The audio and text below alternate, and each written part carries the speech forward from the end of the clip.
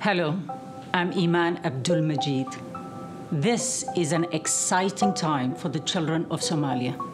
For the first time in a generation, they are being given a chance. A chance for peace, a chance for a future, a chance for education. Over the past 20 years, the conflict in many parts of the country made education almost impossible. Most children in Somalia have never been to school. The number of girls going to school has been extremely low, and most of those that do go drop out very early. Yet educated mothers have healthier children, and the whole community benefits. Which is why they say if you educate a girl, you educate a nation.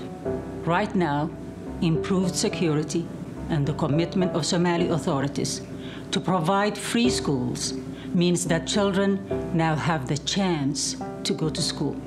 The aim is to get 1 million children and youth into school through their Go to School initiative. As a Somali, I'm very excited. Schools are opening once again in Somalia. Please find out how you can help.